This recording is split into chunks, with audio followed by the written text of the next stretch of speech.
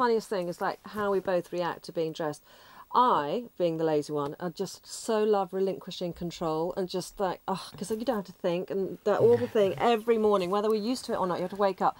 What am I going to wear? I'm going to close out? Just the relief of being dressed by someone else was so huge. Poor Trinny, being the control freak, it was harder for you, so wasn't it, my darling? Some of them was, so, you know, with with Fletch, this lady who's a kind of um, very saucily dressed woman, and she put me in gold hop pants and black fishnet tights and over the knee socks, and I was like, and these nails and fake tan, and and it was like I felt myself being suffocated by by this whole thing and hated it. And I thought, oh, slut.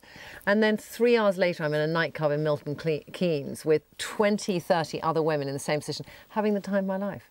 It's I, kind of weird. hand, didn't want to leave Mm. the buttons. I so embraced the look. I loved the little tiny short skirts, the plunging neckline, the fake tan, too much makeup, the over blonde hair. I just, it was, Duck to water. it was a duck to water, tragically.